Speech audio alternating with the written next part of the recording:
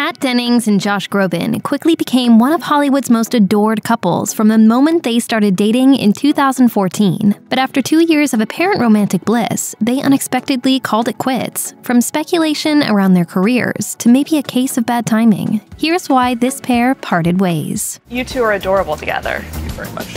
After Dennings and Groban went public with their relationship in October 2014, the couple were often spotted packing on the PDA and seen praising each other in interviews. Early on in their relationship, Dennings appeared on Late Night with Seth Meyers and shared her excitement in dating the singer actor. And in 2015, she chatted about Groban on The Ellen Show, calling him, quote, talented and amazing, and adding, he's one of those people who can sit at a piano and play anything off the top of his head. He's just a genius. In another interview with Ellen, Groban Groban described Dennings as, quote, a brilliant and funny person. The secret to their budding romance seemed to be that both had a shared sense of humor and a bit of a nerdy disposition. And as for Groban, he dished to the host. Humor is such a huge thing for me. So, you know, the fact that we could talk about Monty Python and all sorts of weird other things, I was like, okay, yeah, we're on the same page.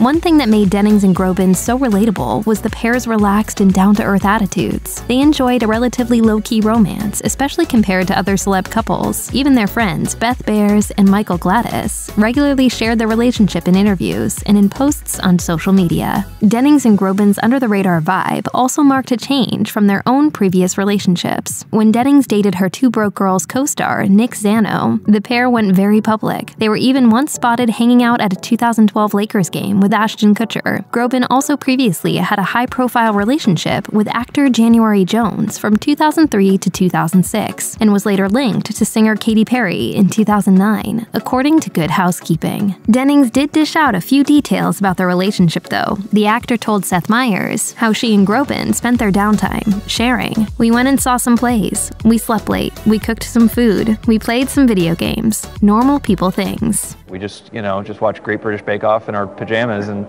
just, just try and be at one finally with the universe. When Dennings and Groban reportedly split up in 2016, a source told E that it was just a case of bad timing. But timing had been an issue for the couple from the start. Beth Behrs had tried to set them up in 2014, but as people reported, Kat was spoken for at the time. Dennings' long-term relationship with Nick Zano ended sometime later that year. When Behrs finally managed to introduce Dennings and Groban, the couple were at very different places in their careers. Dennings' fame was just beginning thanks to her CBS comedy series series and double foray in the Marvel Cinematic Universe as Darcy Lewis in the Thor franchise. But Groban had already been enjoying a successful music and TV career for over 15 years when the couple got together. If the timing wasn't right, it's possible the pair eventually grew apart. Dennings and Groban's careers continued to thrive during the course of their relationship, with Dennings starring on Two Broke Girls and Groban releasing his album Stages in 2015. But after their split the following year, the pair really doubled down on their careers. Of course, for both of us, like work is our passion, like it's what we love to do. For her part, Dennings returned to Two Broke Girls for season 5 in the series' sixth and final season. She then went on to voice a recurring role on Big Mouth, as well as having guest appearances on Drunk History and The Simpsons. She also nabbed several starring roles in Dollface and Friendsgiving. She also returned to the MCU to play beloved scientist Darcy Lewis in WandaVision, and there's even been talk of a spin off series starring Dennings and Randall Park. Groban also went on to great things as well. In October 2016, he made his Broadway debut in Natasha Pierre and the Great Comet of 1812, and after his stint on stage, he released his eighth studio album, Bridges, which debuted at number two on the US charts.